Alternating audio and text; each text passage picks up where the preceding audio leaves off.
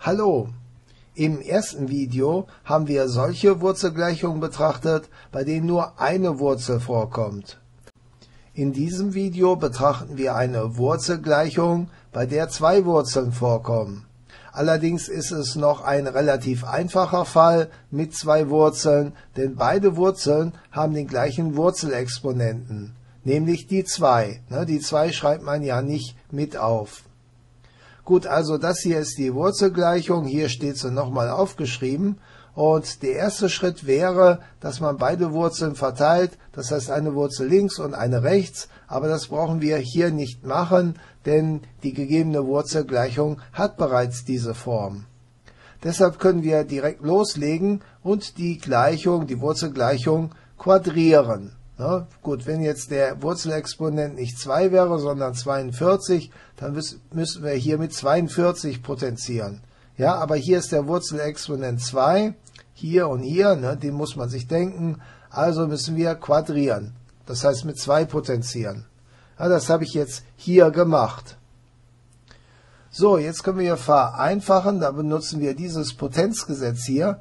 Wenn ein Produkt potenziert wird, dann kann man das machen, indem man jeden einzelnen Faktor potenziert. Das habe ich hier gemacht. Hier wird ja ein Produkt potenziert. Da kann ich also die 6 potenzieren und die Wurzel. Und zwar mit 2. Das habe ich hier gemacht und hier. So, jetzt können wir vereinfachen, und zwar mit Hilfe dieses Gesetzes hier, dieses Wurzelgesetzes. Ja, da können wir einmal hier diesen Ausdruck vereinfachen, da bleibt x plus 30 übrig. Wenn wir diesen Ausdruck hier vereinfachen, bleibt x minus 5 übrig. Und die 6 Quadrat, die rechnen wir aus, das ergibt 36. So, jetzt spule ich mal das Ganze so ein bisschen nach unten. Geht es hier unten weiter. So, hier waren wir stehen geblieben.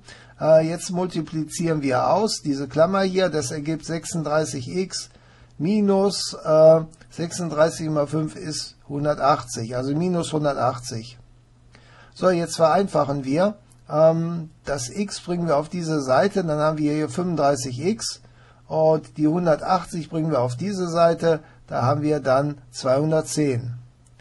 So, jetzt dividieren wir die Gleichung noch durch 35, dann haben wir 210 durch 35 und das ist gleich 6. Das Ergebnis ist also 6.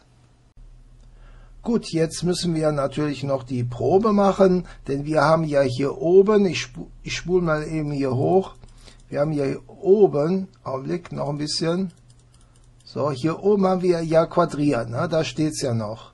Ja, und quadrieren ist keine Äquivalenzumformung oder allgemein gesprochen, potenzieren mit einer geraden Zahl ist keine Äquivalenzumformung. Ja, deshalb müssen wir die Probe machen. Wir müssen das Ergebnis, also die 6, hier einsetzen in diese gegebene, äh, in diese gegebene Wurzelgleichung. Ja, ich spule mal nach unten, merkt euch mal hier diese Gleichung, da setzen wir die 6 jetzt ein. So, das habe ich hier gemacht, also einmal hier, da und einmal hier. Ja, und wenn man das vereinfacht, erhält man die wahre Aussage 6 gleich 6. Also ist die Zahl x gleich 6 eine Lösung. Ja, das war's. Auf Wiedersehen.